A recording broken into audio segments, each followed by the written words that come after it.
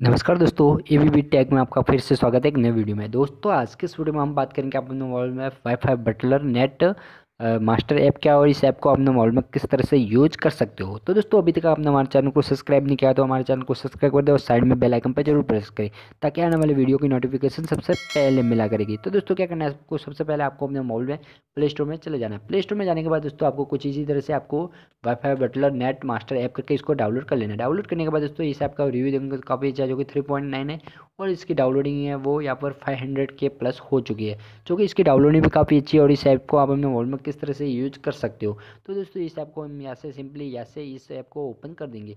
Open करने के बाद दोस्तों आपके सामने कुछ इसी तरह से इंटरफेस देखने को मिल जाएगा। तो उसी तरह से ये ऐप एक वर्किंग ऐप है या फिर नहीं है तो उसी तरह से यहाँ से हमारे सामने स्कैन होगा। स्कैन हो जाने के बाद दोस्तों यहाँ से हमारा जो भी ऑप्शन रहेगा वो किस तरह से यहाँ से आपको अपने मोबाइल को शेप रख सकते हो।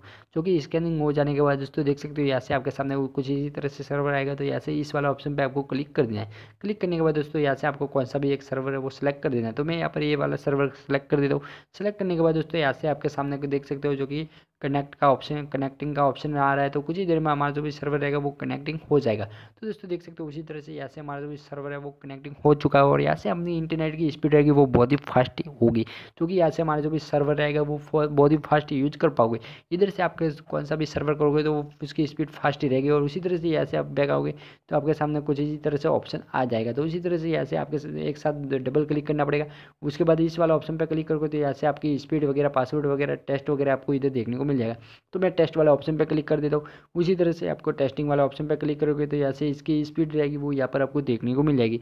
तो कुछ देर वेट करने के बाद ही दोस्तों यहाँ से हमें जो भी इसकी टेस्टिंग की स्पीड रहेगी, वो आपको देखने को मिल जाएगी। तो दोस्तों, एक बार इसे आप अपने मोबाइल में ज़रूर ट्राई करें और दोस्तों वीडियो अच्छा लगा तो लाइक कमेंट और सब्सक्राइब ज़रूर करना, क्योंकि इस ऐप को यहाँ पर टेस्टिंग करोगे तभी आपको मालूम पड़ेगा। तो दोस्तों, देख सकते हो ये टेस्टिंग के दौरान इसकी स्पीड है, वो यहाँ पर आपको नॉर्मली कुछ इसी तरह से देखने को मिल जाएगी। तो दोस्तों इसी तरह से यहाँ से आप अपने मोबाइल में इसे एक बार ज़रूर ट्राई करें और दोस्तों वीडियो अच्छा लगा तो लाइक कमेंट और सब्सक्राइब ज़रूर करना।